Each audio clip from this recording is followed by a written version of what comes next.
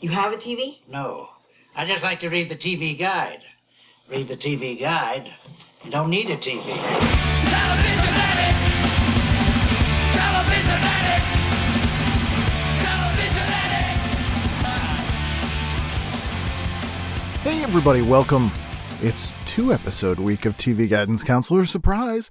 Uh, as you may know, if you're a regular listener of the show, occasionally I get the opportunity to talk to more than one great person in a week, and as a result, you, the listener, get two episodes, and this is one of those weeks. I uh, hope you enjoyed the episode earlier in the week with Abby Crutchfield. Uh, if you missed that one, go back and listen. That was a lot of fun. Uh, and today's episode is with one of my favorite people. It is Ed Solomon. You probably best know him as the co creator, co writer of the Bill and Ted series, but he also wrote Men in Black. Charlie's Angels, uh, just a ton of great stuff. Super funny guy, really good dude. Uh, I've wanted to have him on the show for a long time, and I'm glad that we were able to line it up. As you would imagine, he's very busy. Uh, over the last year, year and a half, he was making Bill and Ted 3. Face the Music, which you must see if you have not. Uh, and if you have, just watch it again because it's great. Uh, but uh, maybe people do, maybe they don't know. Ed worked on a ton of TV shows before that, worked on Laverne and Shirley, It's Garry Shandling Show, worked on a show for HBO last year, two years ago. Uh, that is very good. And so hopefully you know this. And if you don't, you will by the end of the episode because we talk about all that. And I had a great time doing this. So, you will love it. I, I guarantee you. You're like, Ken, will I? Yes, you will. Uh, if there are other guests you'd like me to try to get on the show, please email me at tvguidancecounselor@gmail.com or ken at icanread.com. I am also on social media. The show is at TV Guidance, and my account is at Kenneth W. Reid, R E I D. That is on Twitter, Instagram. I think I signed up for TikTok. I don't understand it. I'm not on. Um, Clubhouse because it's only for Apple, and I am a an Android fan. Uh, I don't like Apple. That's a whole other thing, and we can discuss that. But anyway, whole other problem. So, your second episode this week, it's a damn good one, so enjoy it. Please sit back, relax, and enjoy this week's episode of TV Guidance Counselor with my guest, Ed Solomon. TV is my friend,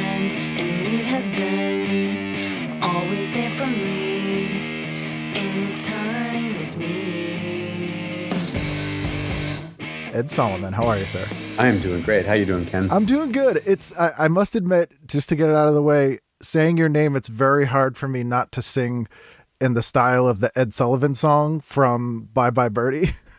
For my whole life, my whole childhood, and and by the way, all my Jewish relatives, it was always the Ed Solomon show. Anyway, they all called it that. But yes, all, for for a giant portion of my life, I would say I am. Uh, I I got. We're going to be on Ed Solomon. Ed Solomon? Yeah. I mean, there are worse things to have, I guess, which is not too bad. Uh, anything associated um, with uh, Paul Lynde is going to be not a bad thing. That's right. I just if I could only have gotten on Hollywood Squares, but no. It's a maybe, not even the Shadoe Stevens version, which is difficult. You know, I always was bummed when I found out that like they wrote the jokes first and they gave them the answers and they wrote, you know, that they weren't winging it. Like, how did I, I guess as a child, think they, that they were winging those jokes? Of course they weren't, Yeah. you know, but I remember when uh, after my very first writing job sort of tanked me in, in a way. I had I, out of co- in college, I had gotten a job on the sitcom, and I remember after that being ridiculously fried and sort of writing for some game shows and stuff. And one of the things I was pitching myself for was uh, writing on that and writing jokes because I was a joke writer before that. Right. And you know, writing on Hollywood Squares, and I I remember even then going, wait a minute. Oh, so they're not making that up. No, you're of course you're giving that. Of course, there. No one is that witty. No, no. And, and if they weren't, even if they weren't writing, having writers handing it to them, they'd probably add nine joke versions and they'd cut to just one anyway. so Oh, like, right. Of course. yeah. Yeah. Um, but your your first gig, and uh, we'll talk. When I asked you to do the show, you were like, "Oh, 1972 is my year." But um, you alluded to it, your first gig was Laverne and Shirley, right? Yeah. That was s- 82. And I think was that the second to last season or the last season? It was the last season. So that was the season. I have a theory that all sitcoms, if they go more than five season, automatically get bizarre. well, what's the phrase? Jump the shark. When did, in Happy Days, the progenitor of Laverne and Shirley, when did it jump the shark? Well, when Fonzie jumped the shark. Yes. But what season was that? I wonder. You Uh, know. I think it was season five. If well, I'm there you go. Because that that weird thing happened with all the Garry Marshall shows where they sort of they stopped doing it on film and it was now multicam all of a sudden, which is like a huge change. And then they kind of stopped bothering to pretend it was the 50s. Mm-hmm. Which I think by when you were writing Laverne and Shirley, it was like not really the 50s anymore, sort of. Wait a minute.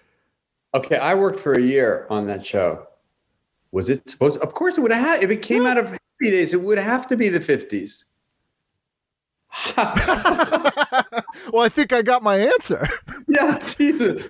Oh my gosh! Don't tell anyone that I said that. Keep it between us. Yes. Whoever's listening, no, no, tell anyone this, Yeah, please. don't tell anyone that. But I mean, but I think no one cared at that point because they were like, "Well, the '50s doesn't matter anymore." Because that was when they had moved to Hollywood. I think they were all. moved to Hollywood and apparently moved 30 years into the at least in my mind. I don't think I, I must have known.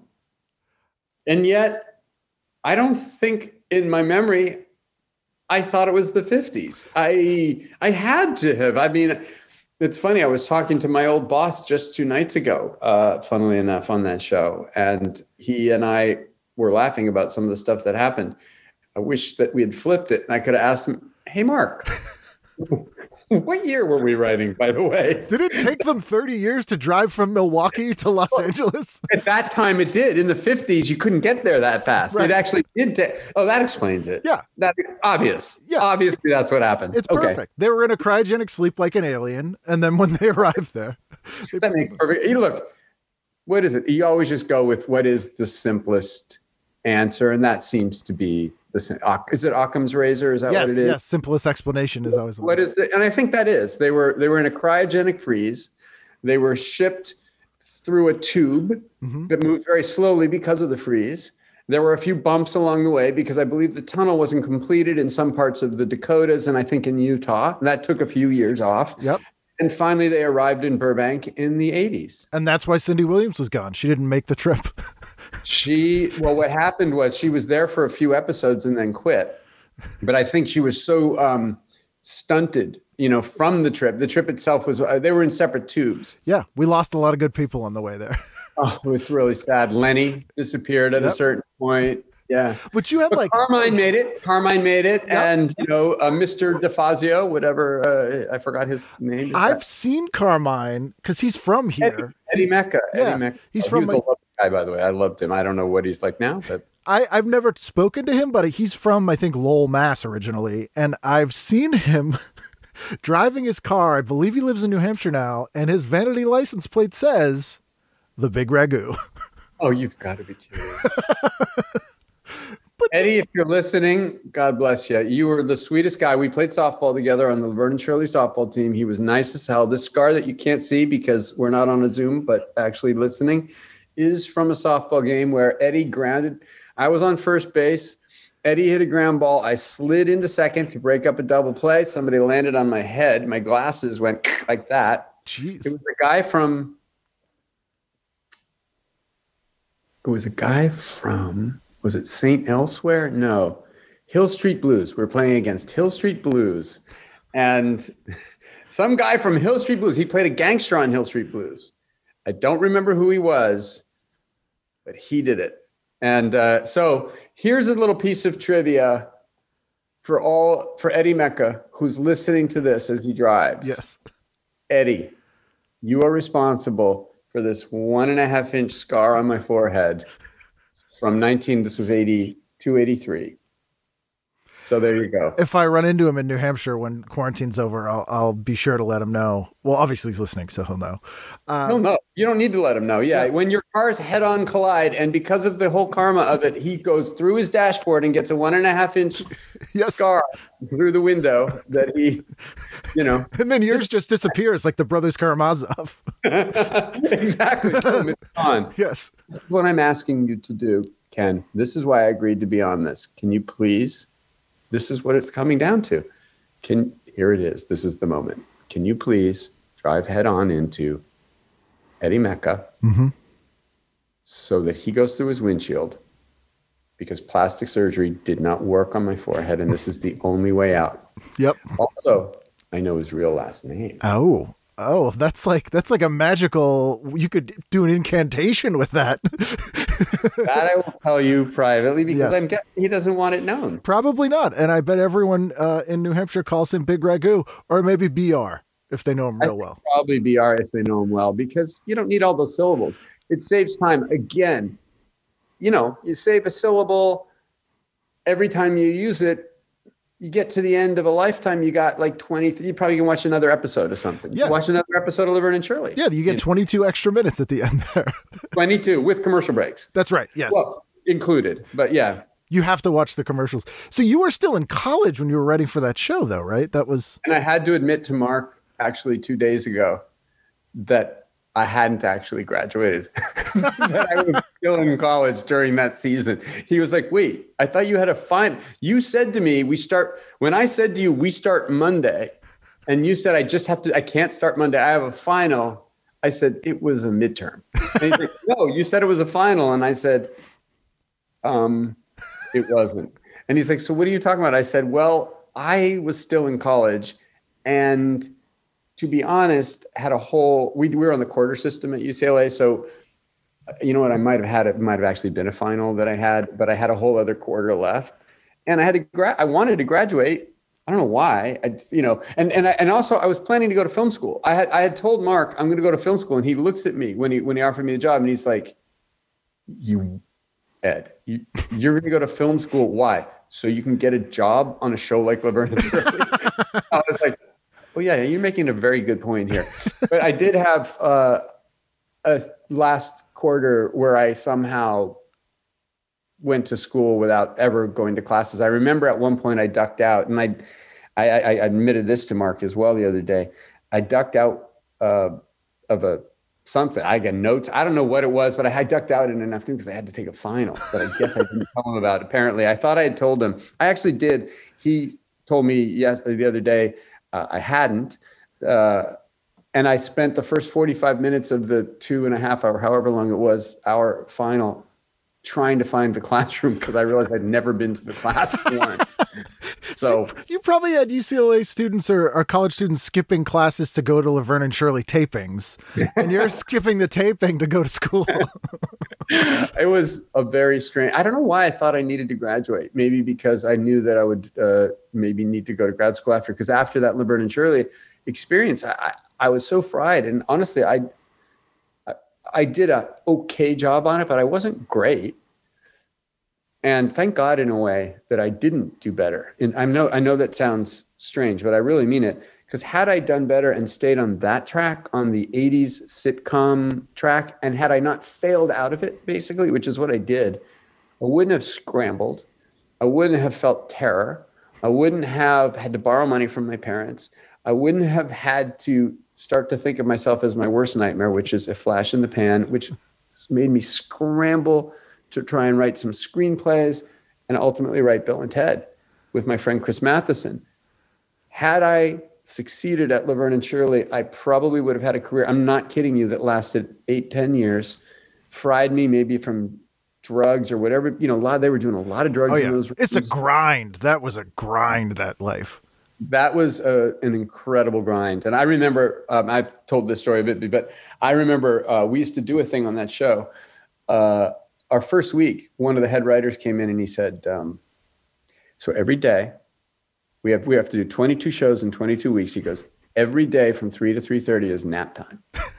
and I was like, and people were like, "What's nap time?" And he's like, "Nap time is phones off. People go to their offices."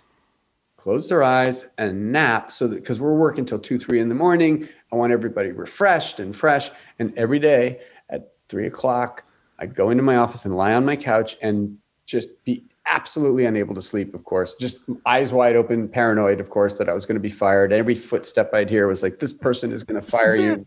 this is the end.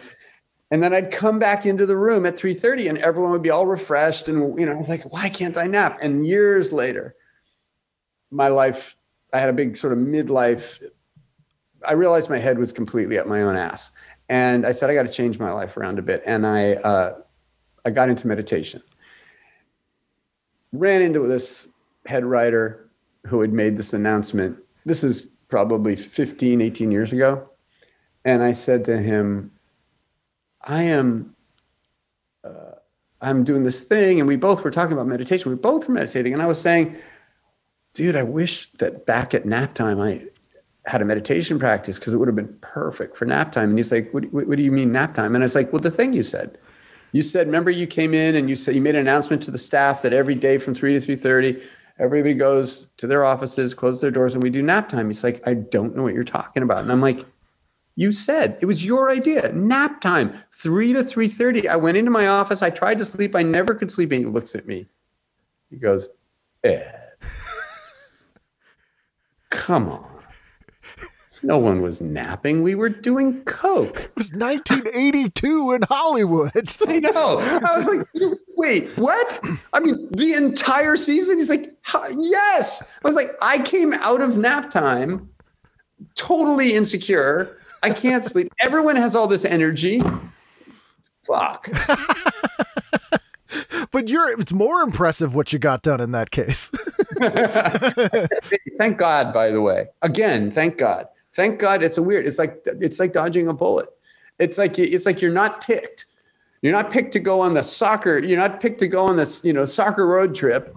You feel all depressed, you're home in your parents' house, and then the soccer team gets, you know, hit by a bus. Yeah. You know, the movie And you're like- Alive happens. and They eat each other. the movie Alive happens, which look, let's be honest, it doesn't happen all the time, maybe eight, 10% of the time that Yeah. the movie live happens. I mean, how let, let's be honest, like getting real for a moment. Out of every excursion that you go on with a group, how often do the people end up eating each other? Out of out of a hundred. Out of a 100 in my personal experience and I've probably had more than others just because of the luck of the draw. I'd Yeah. say I've had to eat another person maybe 12 times.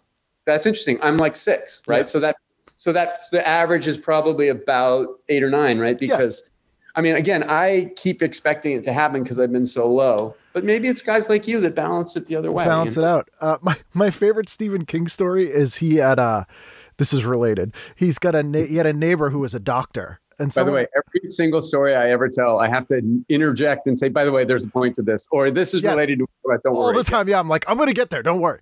Um, but he, someone asked him if he like ever talks to his neighbors in Portland and uh, or in Bangor, and he goes, "Well, I used to talk to my neighbor who was a doctor, but one day I ran into him at the post office, and I was writing a story, and I needed some information from him, and I I asked him." How much of yourself could you eat before you died because he's writing a story about a guy that was like stranded on a desert island and is like eating himself to survive till he gets captured, uh, till he gets rescued. And the doctor goes, I will answer your question, but I want you to never speak to me again. and he gave him like a medical answer. And he's like, okay, thanks. So he's like, so no, that's the only time I spoke to my neighbor. But fair enough. You know, the guy, the guy was game for it. Um, so you- you're just saying I should not try to eat myself if I'm no, eat yourself, but okay. only one leg. That was the answer. That One was the answer, One yeah. leg. Okay, Yeah. good. Good know. Because Okay, that's when the ratio of how much nutrition you're getting versus how much you're missing flips. Got it. Scientifically speaking, quick question on that: Do I cook the leg or do I eat it raw? He cooked it. Okay, because that's probably healthier. I yeah. would think. I mean, I think it's really your preference at that point. Um, yeah. Another one, and I'm sorry. No, it's You fine. cut the whole leg off and freeze it, and do it in like you know maybe meal size, you know like Tupperware, or or do you do you do it gradually? I feel like doing it gradually would be harder. Am I wrong? Yes, it would. Um, I think meal prep is probably the key and, and good portion control. But Okay. on an island, Oh, the refrigeration is going to be tough. So you might have to salt it. You might have to go like old a lot of salt then. Yeah. Yeah. So you just pack it in salt. Uh, so, so this means if I get myself on an island, I need some kind of dehydration for this for this for the ocean. Yep. So that I can distill the salt from the ocean, so that I can pack my leg in salt and then cut it into portions. I got it. Yeah. Or I'm with- jerky. You could jerky it. Really. That's always a secret. Jerking my leg. That actually makes the most sense. Yep. Now that we think about it, scientifically again, I mean, this is a science-based episode. It's now appearing. It Math is. and- yeah. It's Okay. it's it's actually a medical advice podcast. um, I knew it was. yeah. I knew it was. When I ask people if I tell them right away, they're like, I don't want to do They don't that. want to be on because what do I have to advise about medicine? It turns out a lot. Yeah. It turns out I have awful lot of medical advice to give people. It's true. You got to Trojan horse people into that, or they're never going to do it. Right? They'll never join. They'll never show up. They'll never listen. I get it. We're really helping people. We are. We've saved probably thirty or forty lives. 30 li- I would say, I would say at least. At least. Speaking of eating people, though, and again, there's a point to this. You had Yeah. a crazy story about the Night Stalker. Oh.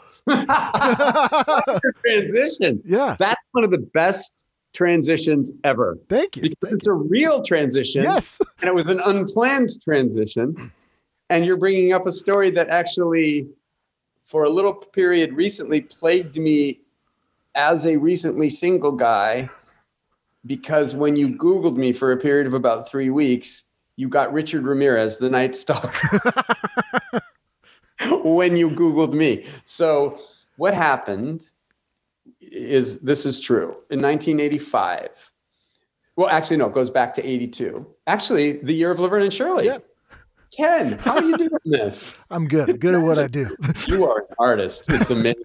You make it look so easy. So in 1982, I'm on Laverne and Shirley, and my roommate is my best friend from high school, Brian. And Brian is buying a piece of shit car, used car, but he's in med school, and I have a job.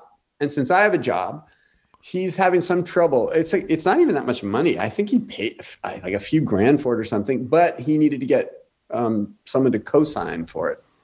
So I had a job, so I did. I don't remember if I signed for it, co-signed. I don't remember the exact, you know, it was registered regardless to to our address. And three years later, he the car had about 150,000 miles on it. He was getting rid of it. He it, it still ran. He wanted to give it to somebody who could use it. He's a great guy, my friend. He wanted to give it to someone at his church who needed it. He sold it for one dollar to a guy from his church. He uh, you know, that was it. Didn't think about it after that. The guy was in Chinatown at a restaurant and the car got stolen by Richard Ramirez, the Night Stalker. And he left it at the scene of the crime. And so for this brief moment, um, I was awakened. I remember it was some, I don't remember the exact time. It was like, you know, after midnight. I was awakened, or maybe after, I don't remember. I was late enough that I was asleep. Phone rings. I was like, what? And literally, the first question out of somebody's mouth is, "Are you the Night Stalker?" Which, by the way, would that actually is is that good? You know, You detective work. got me. Yeah. I- shit. Yes. Yes. Here's my address. It's like a that myth. It's like that myth. If if you're a cop, you have to tell me. if you're the Night Stalker, you got to tell me. yeah, that's the Night Stalker rule. That's actually with also. I I learned that as a serial killer that that actually is. Well, now we're getting into legal advice. It's true. fascinating.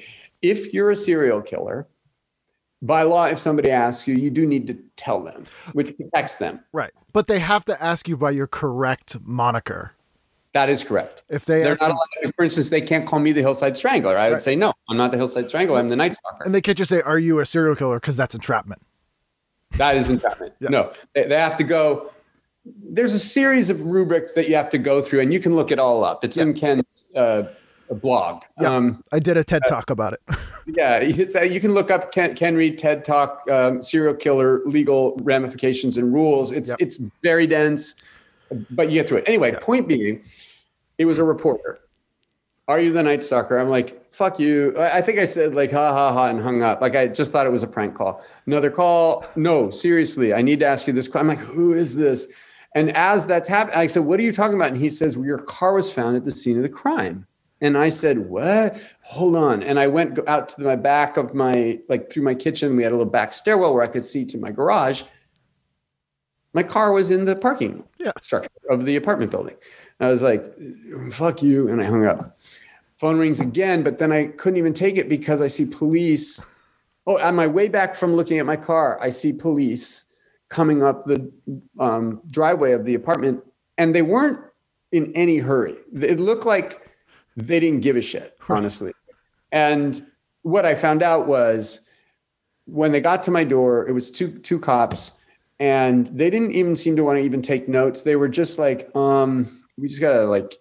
Yeah, I, and by the way, I was standing in my underwear, and it was I had just been awakened, and my suspicion is I probably what probably hadn't fallen asleep entirely of natural circumstance. I was uh, kind of out of it. but what I remember was them kind of saying something like, "Uh, "We just got to like put a period at this or dot the I or something." They had already figured out like that I had nothing, obviously had nothing to do with it. Plus, I'm standing there in my underwear. you know.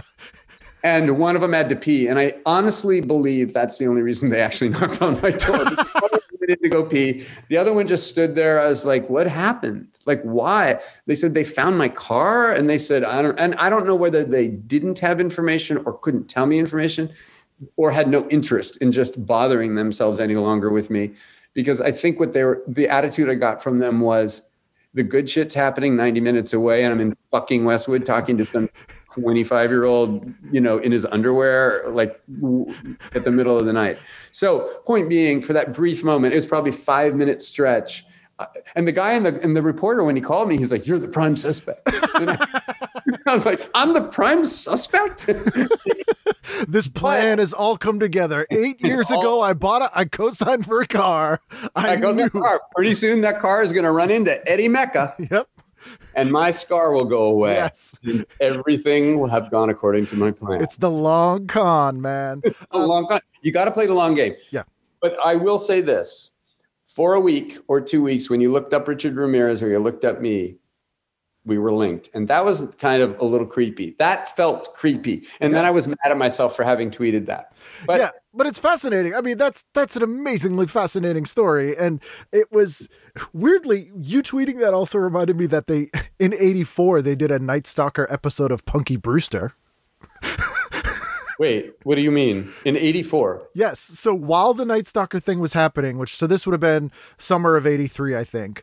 Um, in Wasn't it 85, The Night Stalker? maybe it was '85. With regard, I, I Yeah. feel like it was 85 just because of who my roommates were at the time and when that happened, but it might have been. It might have been. It might have been 84. Regardless. regardless that the not even a year after that they did an episode of punky brewster where there was a night stalker in chicago they didn't say it was richard ramirez but there was a killer and they had like his picture on the news and in the paper and punky was terrified he was going to crawl in her window and murder her and so they had to have like That is stuff of, of sitcom, family Yeah. sitcom. Oh Totally. my God. Yeah, because kids, and I know they were having talked to people who wrote family sitcoms, and I'm sure you have too.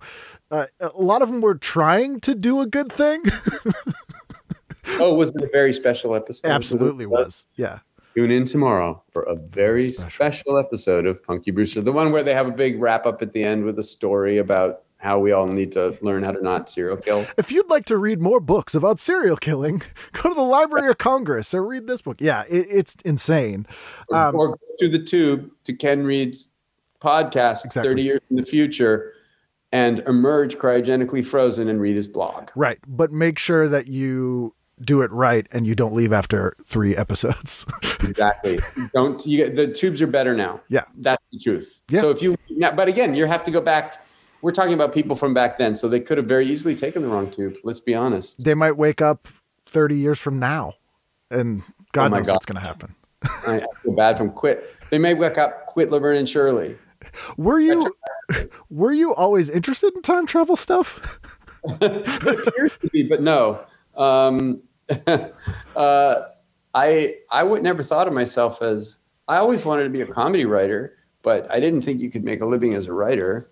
And you know, Bill and Ted, time travel was just a joke. You know, like how do you get Bill and Ted to be with these great people? Because you already had the characters, you just needed to figure out what the hell to do with them, kind of, right? we were messing around as Bill and Ted for like a year. Yeah. Chris Matheson and me, and just you know, we were comedy wanted to be comedy writers, but never crossed our mind to strip mine these characters that we had come up with this in this bizarre little improv group that we were doing with you know just to work out. We didn't have an audience. We just worked out, came up with these characters, and then fucked around doing them for a long time. We never thought like, oh, let's take this character and audition for blah or Right. try to put them in something.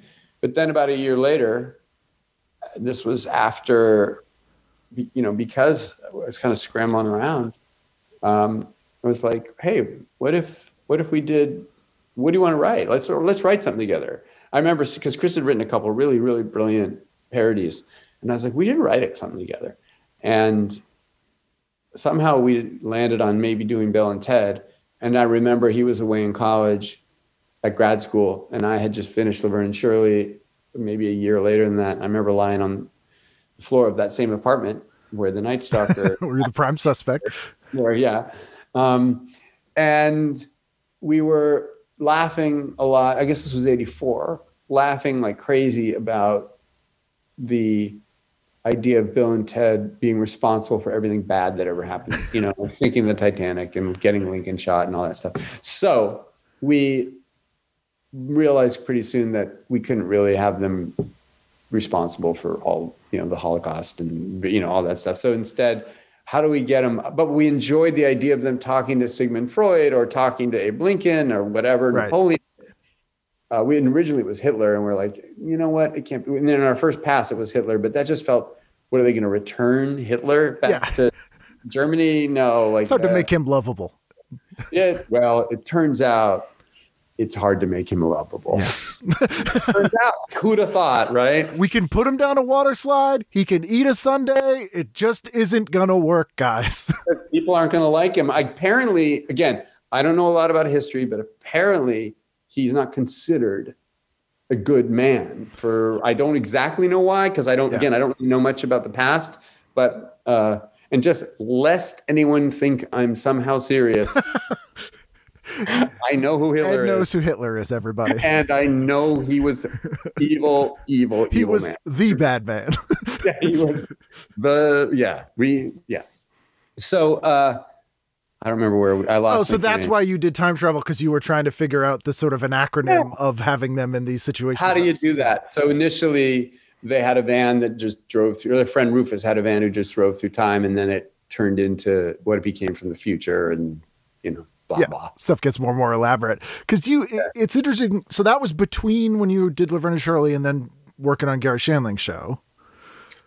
Uh, yeah. So Laverne and Shirley, then failure and sense of defeat. Yes. hopeful, shame, impending, you know, future of thinking about applying to law school, business school, uh, sh- tail tucked between legs, doing stand up, writing jokes, trying to sell jokes to game shows, trying to pitch TV shows, all feeling like a descending spiral.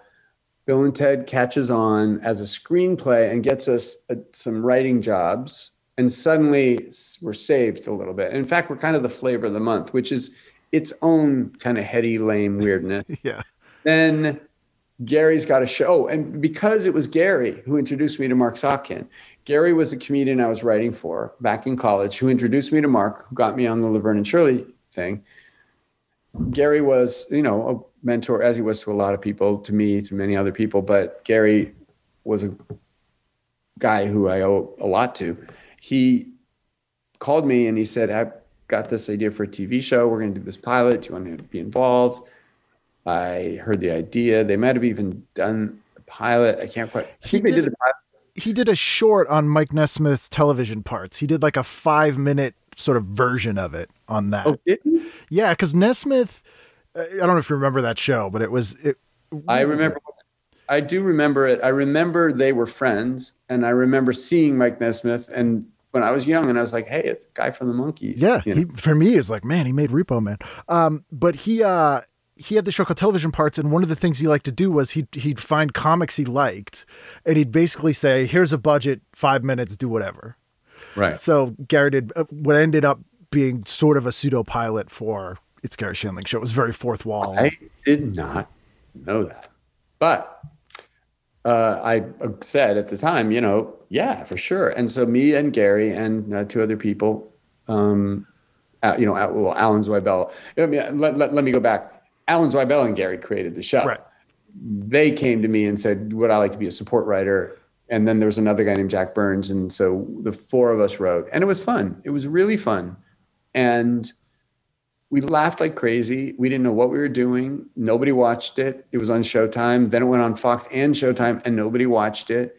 And we got to, and we had, I would say, I think I probably worked on about 70 or 80 episodes. I'm not sure. I had to leave for a little while co- to go do Bill and Ted. And, you know, so I was, went, uh, so basically, we had set up at Bill and Ted. We wrote it. We were working on it, rewriting it, got put in turnaround. And I started working on Shandling, the show. Worked for a season and a half, I think, before then Bill and Ted got made. I left to go do it. It was finished. I came back to Shandling. Bill and Ted sat on a shelf for a year, continued on Shandling, then, you know, blah, blah, blah. So that was right. it. But out of the 70 or 80 shows we did, I think we got like 10 or 15 uh, that are good, probably 20 that are terrible, and then the rest sort of mediocre. It's sort of like your ratio of having to eat people. Exactly. Yeah, and that's what that's what the reviews said. They were like Gary. Sh- it's Garry Shandling show is like eating people. It's like Ken Reid's ratio of eating people. Yeah, it was. Ex- that's what the New York Times said. Uh, which I thought the New York Times was being unfairly cruel when they said it's they said it's like eating your own leg without salting it. Right. I don't think they said. right in one sitting, which was like In one sitting. Yeah, come on, man. Don't pile on. You know, the gorging on there. Yeah, I mean that's Yeah, gluttony, bringing gluttony oh. into this. Yeah, come on, man. That's not But it was th- that show was sort of everything I imagine you learned on Laverne and Shirley. You were able to utilize on that show, which sort of deconstructed every sitcom cliche on earth. well. Let me straighten you out a little. Okay, First of all, we had some episodes that we did deconstruct the cliches on, only because we'd written cliches without realizing it. okay, and then went, oh, this feels weird. Now let's fuck it up. We weren't smart enough to know that we were deconstructing cliches. We just didn't know what we were doing. I'm not kidding. the best we, stuff comes out of that though. we would literally write ourselves into corners. We were literally like, okay, we're in a corner. We don't have any more sets left. We have run out of money. What do we do? Or how do we get Gary from here to there? We have no way to do it. How about if he just walks through the set? Oh, okay, we'll just do that. Or we don't have the budget for an airplane. So what if Gary holds a paper airplane and says, we're flying on this? like it was it was always out of us having planned poorly having written at the last minute having not really thought through what, a beginning middle and an end is having not started the right way because every episode that we started with a truth the shows were good and the the sort of physics of the show came out of that and it was and it, and it worked better. Every show where we started with a gag and tried to retrofit in truths they always were lame Because you and so I and miss. you you wrote a lot of the Grant episodes. Who was like the kid, uh, like for whatever reason, about half of them were Grant episodes, and the one that I think of the most, and I I. know all this. Thank you for knowing this. Oh, you're welcome. Yeah, no, I'm a huge fan of television and, and that show, especially because it was it was intentional or not. As someone who grew up loving watching sitcoms, I think that show and Get a Life, which were similar time frames ish, um, sort of rewarded you for watching a lot of TV by kind of letting you in on stuff, and it kind of felt like you were getting away with something watching it. And the the episode that I hope is on your list of good ones, but it's the one where Grant uh, and a bully get in a fight. and the bully's actually played by a friend of mine, Ryan Lambert. And the weirdest thing happens where the bully lies and says, No, it happened this way. And then Gary asks the audience, he's like, Well, you guys were there. What happened? And then you, they go and watch the tape of the show. and it was like, This is amazing. My favorite. Well, there was one that was Grant Date that I wrote with I think Jeff Franklin. There, one of my, but my very favorite episode of that show was written with two brilliant and lovely guys, Tom Gammill and Max Pross. Um, the idea was, and and by the way, the only reason we got this crazy idea through was somehow the episode that we were supposed to shoot fell apart, and I don't remember why. And over the weekend, I had to write a new show for the next week, and I remember pitching. I remember sitting with Alan Zweibel at a at a cafe on La Brea and Melrose with this outline saying, "This is the story I'm thinking," and saying, "I need." You know, and then saying, I want to write it with Max and Tom. And the three of us wrote this thing really fast. And it was called The Schumachers Go to Hollywood. And it was a grant based story, actually. And the premise of the show, because you're talking about the physics of the show, what's interesting about this is just what an audience will believe and understand. And that is to say, an audience knows the inherent physics at work in it.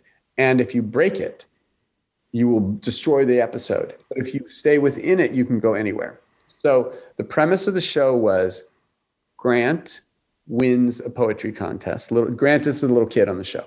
He's Gary's best friend, Pete Schumacher's son, Grant, wins a poetry contest for a love poem he wrote. And the prize is a trip to Hollywood. Now they live in Sherman Oaks. So Hollywood is they're all excited about it, but it's basically a drive over the 405 and then Hollywood. Or maybe down the 170.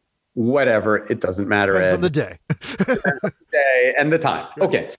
So they so in the show, Gary is charged with feeding Grant's fish while the Schumachers have a weekend in Hollywood, which they're all excited about. The Schumachers drive, you know, there's a shot of the Schumachers in their car driving over into Hollywood and arriving on Hollywood Boulevard, where I believe it's Florence Henderson or somebody is handing out tickets to television shows, including it's, it's Garry Shandling's show. So the Schumachers decide, let's go see Uncle Gary's show. So they come in through the back of the the um, stage, you know, the back of the shooting stage, into the audience of it's Garry Shandling show, and they're all excited, and they get there during the scene where Gary is feeding Grant's fish. So Gary's feeding Grant's fish, and comes upon the poem that Grant wrote, and he reads it. Oh, isn't this the cutest poem? And it, he, you know, it's to this girl named Lily Wu, and the poem is, "Hooray for Lily Wu." Your locker combo is 6142. And when Grant, and when you put your books in, I always look in wishing I was in there with you or something. right. and oh, no, no, no, that wasn't the poem. That was not the poem. That was the end song when they sing Hooray for Lily Wu. It was, the poem was H is uh, whatever. It- it- I can't remember, but it was, it was a bad. different poem. Yeah. but it humiliates Grant. But the Schumachers can't leap from the audience onto the stage, even though Gary actually transverses from his set to the Schumacher set, literally walks in front of the set to go into it. They have to get in their car and drive up the highway and then back around to the set and come in through the door of the set to confront Gary. And the thing about that was, if we had done it any way differently, if the Schumachers had leapt over, it would have destroyed the show, literally destroyed the show. The audience knows the physics. The physics are Gary knows it's a TV show, and Gary's relationship with the audience is different. And we all knew it and felt it. And it's it's it's a fascinating. I took a lot of lessons from that show, uh, including there are people unlike me who can get to comedic places like Tom and Max or Alan, Al Jean and Mike Reiss. I mean, there were there were a dozen people that came through that show. Merrill Markoe wrote an episode. Like I think, yeah. Yeah, that's right. Larry David. Larry actually David wrote- wrote one. Yeah. Yeah. Um, but like there were people that came through that are, I mean, Merrill is a genius. I've always admired her writing. Oh my God. There are people that came through that show who can get to places comedically I will never, would never, and will never be able to get to. And watching that and being able to admire that and see it happen in front of your eyes was amazing. And I never for one moment thought anything other than this I'm lucky to see. But the other thing I took from it was when you build a story on truth, it works. But when you build a story on cleverness, it implodes very easily. Right. As long as the world you create has a set of rules that it sticks to, basically, then you're That's good. right. But eh, but and and it's not just the world you create has a set of rules to stick to. What we're following are the human beings in these stories. And so as long as the humans are coming from a place of their own truth within the relevant physics of the universe you're creating, your story has a better chance of working. But when you think you're too clever for it, your story has a bad chance of working. Do you think it is easier to show a sort of real place with a character when you have a more fantastical sort of environment? Because a lot of the stuff that you've written sort of fits into that world where do the characters feel more uh, this might be a stupid question but do the characters feel more real when the situation is more fantastical sort of You know, the one actually good question you ask, you think is stupid. No, good day sir i wasn't wording it right but yeah every story, no matter how fantastical it is, in fact, the more fantastical it is, the more human and real you have to base it. Always, without question. Otherwise, you end up all over the place, literally. So, I mean, the things that I'm that I've written that have had more commercial appeal uh, have had more science fiction in them. The things that I've written that were more personal to me, which usually both bombed and people hated, uh, were based in more real. Though my newest film, my newest film, it's not, I wrote, it's not my film, but is a 50s noir uh, drama, which I thought think was directed beautifully by Steven Soderbergh and acted impeccably by Don Cheadle and Benicio del Toro and these amazing, amazing actors. That's a very different thing, right? You're writing a real story about, you know, whatever. It's still a noir. You're in a genre. But I mean, I think I think the key when you're writing in any genre. So this was noir, kind of 50s melodrama, Sirk-esque, Douglas Sirk-esque, uh, kind of spare 70s style noir, maybe 50s style noir. You you can't condescend to the genre. You Right. can't go, I'm gonna do my take on this. Right. And show you how you do it well. We're gonna wink at everybody like we know. these- Yeah. yeah. Never do that. You can't do it with science fiction. You can't do it with com. You can't do it with anything. When you're writing a sitcom, you can't go, I'm better than the sitcom. You got to embrace it. And you have to embrace the people that like it. And you have to embrace the actors who are performing it. And you have to embrace the ideas. So the first thing you have to do is go, if you're writing a horror film, I love horror, or figure out how to love horror. And then within that, go, what is the truth of these people that are involved in this? Because when you're doing when you're not doing either of those it I, it never succeeds is my, in my opinion. Yeah sincerity goes a long way i think. And you know to your point uh it makes sense now to know that like it's garry shandling show wasn't was more organic than it than it may have seemed. It wasn't let's set out to make an anti-sitcom.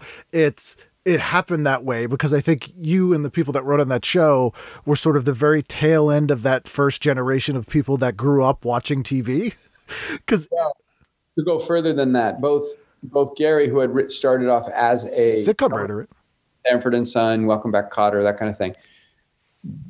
I, I, I'm not giving Alan Gary enough credit there because it's not like they just stumbled into it. They had a sensibility which was like, we're not going to do something that's been already tread upon. right So even if we have a stupid sitcom idea, by the end of it, no one's going to be satisfied with it. And that came from the lead of those guys. Those guys taught me a ton. Then, and also partly because on Laverne and Shirley, I was too young to learn. I was too green to learn. Now I'm in my mid, mid and mid late twenties yeah and I'm I'm I'm more uh, receptive. I've had more ups and downs. I have more confidence. I have more insecurity. I have like, whatever. I I can think- I lessons better. a big thing was when you got rid of the mustache i think that Me? it, it was it was in the way really Was it too big? Be honest. i think any to be fair the 10 gallon hat did distract enough from it that i think you could get away with the size of it but when we were like say in in the company of a fancy lady you had to take the hat off it was too big See, that's you told me that then, but I thought you were just wanting me to get the hat off because you were jealous of the hat. I'm going to be totally honest. I, I'll be honest with you. Yes, that was my initial reasoning behind the hat removal. But once it happened, I was like, the mustache too big. Said, Every fancy lady was like, "Why do you have a, like a foot long mustache?" Yeah. like it's you know in in in proportion to this 10 gallon hat i'm wearing and you know i felt honestly naked. Once i shaved it i felt naked. But you're telling me what others have told me which is it made me look less um ridiculous honestly. Yeah, and I thought it made you also feel like you had to live up to that image. Like you always had the six shooters and the double- spurs, and it was just like, come on, man. look everybody wears a costume. We all wear costumes you know? Right now mine is jeans and a t-shirt but it's a costume and i'm trying to appear you know? So i was just thinking why not own it you know, and just go around with the six shooter and like spin them. And, you know, I had a lot of catchphrases. Apparently, that was Yosemite Sam. I didn't realize it. Yeah, well, that's hence the lawsuit. No, exactly. And which I lost badly. And again, I didn't listen to your advice, which was you're doing Yosemite Sam. Yeah. You know, you're just jealous. You're, and, and you've admitted, let's be clear. Yep. You did admit you were jealous of the hat and you did admit that. And I appreciate that. That takes courage. I'm a bigger man now. We're thank you. I appreciate that. If I were a bigger man, maybe the, the giant mustache and the 10 gallon hat would have been more proportional. And, and could I have gotten away with the six shooters or is that still probably, probably not? I think, and you know, it's all academic now because it was a long time ago and we can't change the past. But I think you could have got away with five gallons, to be honest with you. You're probably right. Yeah, because my not that big. No. Yeah. And and instead of a six shooter, I think you should have gone lasso.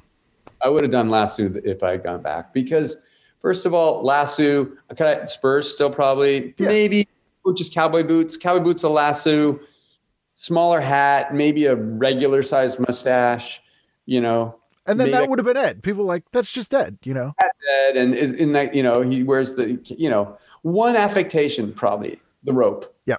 Know, might have been like, oh, hey, it's the guy with the rope. And like that could have been my brand, but I so overdid stuff back then, you know. We all did though. I mean, with nap time and everything else, you know, people had Oh, big yeah. ideas. period, I have to say, was, you know, was, I don't say embarrassing because it wasn't, because it was like Ken's doing his cape thing. Yeah. Yeah. But it, it was, I did used to tell people, this is something I'll confess to you now, and it was, it, I couldn't have done it, you know, a year ago even, but I used to say it was for aerodynamics. And Do you, You think people believe that? I don't think they did. And don't Everybody bought it because you had that whole aerodynamic. You had those pants. You had like those long, long. I don't even know what they were, but they stretched out for about eight or ten. oh, the feet. dreadlocks. Yes. Yeah. The, the dreadlocks that were like flat. Like, how did you get them to go straight back? It you know? took a lot of ironing and hairspray. would Yeah. Oh, but I, I was inspired by anime because the speed lines, I wanted to make it look like I was you know, moving forward. Well, let's be honest. You look like you were moving fast. Yeah. A lot of people said Ken is moving fast guy. That was actually your nickname. It's moving fast guy. yeah, but then I heard that some people called me the blur, and I thought that was disrespectful. It was disrespectful. You're right. that was bad. And I'll be honest, I was one of them for a little while, just because other people were doing it and I wanted to fit in with them. yeah, I mean, I, I- I don't blame you. That's how you I got. It was a blur. I, I actually respected what you're doing, but I did say it to be more popular. That's why you're sitting where you're sitting, and you just had a movie made, and I'm sitting here without one. That's the difference. you That's the only difference. only difference is that But I- you're alone. I don't know. You're the boss of this. I'm working for you on this. That's true. That's true. And you're you're doing a great job. Uh, but I may have to fire you and hire a new guy to come in and redo all this. I get it. We're gonna recast. Um, No, I, we- by the way, this we're really doing good on the TV guide stuff. I oh yeah, we dug we dug right in. Yeah, sometimes we don't get to it. It's fine. Um, all I want to say about it is my episode was the Partridge Family, and all I wanted when I was 11, 12 years old, when my hair, I was going through puberty and my hair was going curly, and I fucking hated it, and I was embarrassed by it. I wanted David Cassidy hair. I don't think I- you were alone. I wanted that straight hair that you part in the middle and kind of go like, you know, flip your head around. And I went to my, and, and it was the time I was getting old enough where my mom said, it's time for you to go, not to the barber, but to a stylist, which meant $13 for a haircut instead of 250 or maybe it was $8. I don't know. And Antonio was his name. And I believe my mother had had a, pre, a prior conversation with Antonio. I believe they had a secret pre meeting, maybe, maybe telephonically. Maybe she sent an advance team. I don't exactly know because my mother was telling me, I love your curls. You should be proud of your curls. Your cur-. And, and I said, I wanted Antonio to straighten my hair. And Antonio said, I will not straighten your hair. Your hair is you. And you want to know something? He changed my life because he said, That is you. Your hair is you. Don't try and fucking. He didn't say fucking, of course. He, He said it in My accent, by the way, every if I do an accent long enough, it just becomes Borat. So I can't do accents because every accent just veers into either Dracula or Borat. There's nothing else. So he said to me, it's you. That's you, and I'm not going to change you. And I'm certain my mother had talked to him. But I have taken a lot from that, actually. Yeah, I mean, you've made your own path, like truly. And what we've said, you know, where we started in the beginning, it's, you know, the the sort of failures and the things not working out the way you wanted them to ends up being better because what you had planned was probably not the best way to go. uh, my life would be a lot worse had I not failed as dramatically as I have. And uh, I think it is impossible for us to look back at the paths because, of course, it we're, we're, all our lives consist of almost infinite micro decisions, right? We always think that it's the big doorways, the big exit ramps, you know, the big cha- the big meeting, the big whatever that's going to be the life changer. But really, it's a series of these like nano choices, right? And the failures, I think, A, I learned a lot more from all the failures than the successes. That's completely clear about that. B, I think it's not just about failing, it's about failing and somehow managing to not get discouraged, right? What that that is a tough thing. Yeah. Man, it, eh, eh, you know, man, have I belly flopped and a lot and it's painful, you know. To that point, and I'll I'll let you go in a moment here, but you you mentioned like the stuff that was personal to you and the stuff that you really um, loved that had flopped. If, if there's like one thing that you want people to see that they might not, they may have overlooked, what would it be that you've done? Uh, you know, there there is. I think the films that have flopped flopped for a good reason. They didn't work, and they didn't work sometimes because of me Sometimes it was my fault. I didn't get the script right. I directed a film that could have, I thought was going to end up really good. We did some recruited audience, regular screenings, and it scored well, but then just critics hated it. And I think I must have fucked it up. I actually do think I fucked it up. But then. Was that Mom and Dad Saved the World? No, no, no. That was uh, a movie called Levity that I haven't seen since it did the DVD commentary 20 years ago for it. But that would be a film I would be curious if. No, I I was going to be curious if that. I've always had a fantasy that maybe one day some important critic would go, "Hey, I think we were wrong about that movie," but it has it, it's very polarizing. A lot of people really hated it, and so maybe it sucks. But no, there isn't a flop I would love people to go back and look at. I wish people could look at some of the scripts that I that I had written because I think some of the movies that failed are my fault and some of them aren't, and some are a combination. And there's probably been an equivalent number of failures. But I will say this about the failures. I wouldn't be here today. Honestly, I'm not, this is not a panacea or no, that's the wrong word. This is not a, a, a what's the word I'm looking for, Ken? Um, a platitude or a- it's, definitely a platitude. Um, I can't, I can't believe I'm spacing on the word. It doesn't matter. It's, it's, it's, it is a platitude, but, but I, you know, I'm really proud of the work that I have coming up. I'm, re- I think I've grown a lot as a writer, and and I've needed to. We talk about comedy writing. It's really hard to be funny as you get older. It's hard to be funny. Let's start there, and it's hard to be funny as you get older. Not just because the culture changes and references changes, but references change, but you know you change and your brain works differently. And it takes a certain as you know frame of mind to be funny all the time that's hard to maintain especially as you get older. And i just think your life is different. And i love to laugh. I love to I love people who make me laugh. I love to make jokes. I love to play with jokes. But i knew that if i was 40 45 50 that I wouldn't survive as a comedy writer and still you know, I could get gigs here and there, but I'd be getting bones thrown at me at a certain point. So I had to try to develop other skills that involve failing a lot.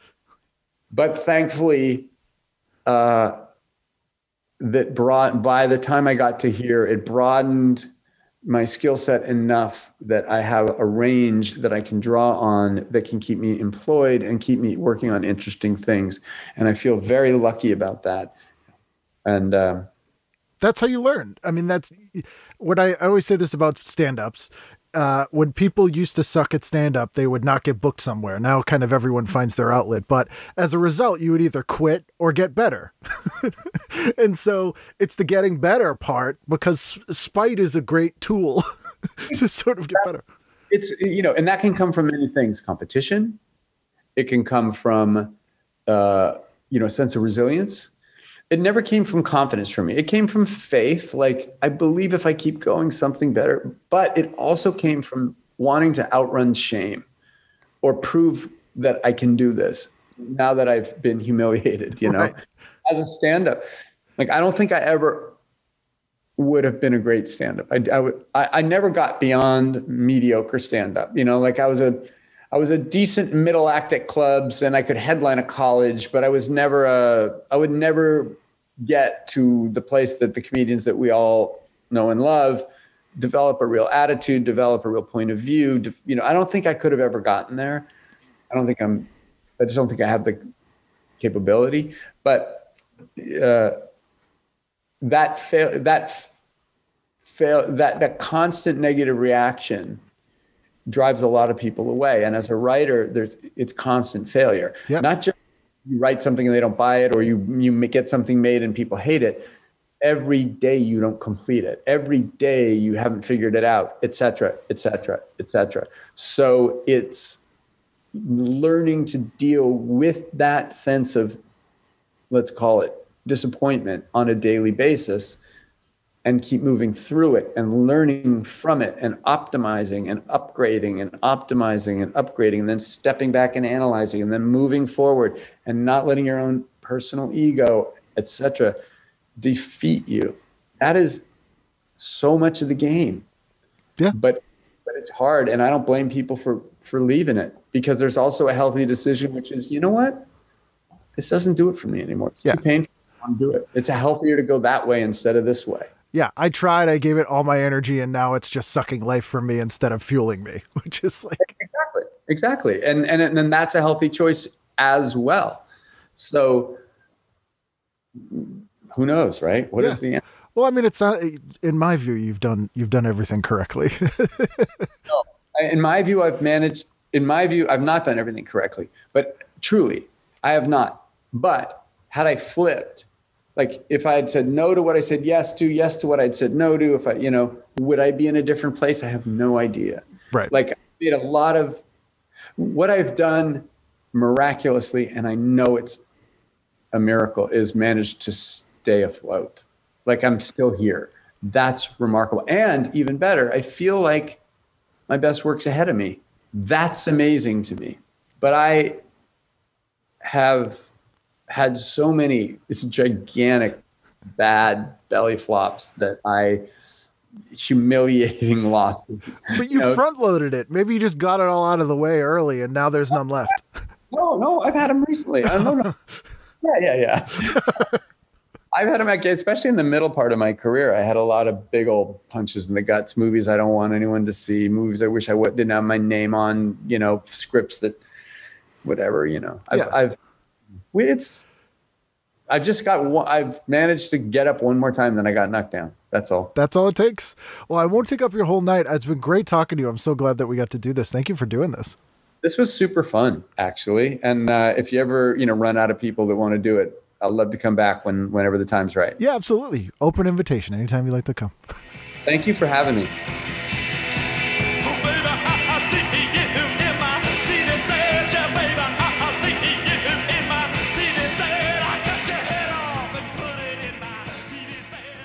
There you go, Ed Solomon. How fun was that? Uh, and we didn't even discuss how he wrote the No on 15 song in Revenge of the Nerds Part 2, which I didn't know was common knowledge. It's in his credits on IMDb, but I actually was told that by Barry Sobel years ago. And uh, that was, that was, I thought, a little gem of, of trivia I knew, but apparently everyone knows that. But we didn't even discuss that. So we'll have to have him back on again. It was a great time. Uh, and I cannot thank him enough for taking the time to do this. As I said, and as you would imagine, he's a very busy man. Uh, he has a movie coming out next year as well, that noir film that he talked talked about. So uh, definitely check that out. When that comes out, I'll post about it on social media at TV Guidance or at Kenneth W. Reid uh, or, you know, all the TVGuidanceCounselor.com and all that stuff because I can't wait to see it and it sounds great. Uh, you know what else sounds great? next week's episode. See, I'm the king of transitions. Um, we have another great guest next week. So we'll see you again next time for a brand new edition of TV Guidance Counselor. Ken, this is why I agreed to be on this. Can you please? This is what it's coming down to. Can here it is. This is the moment. Can you please drive head on into Eddie Mekka Mhm. so that he goes through his windshield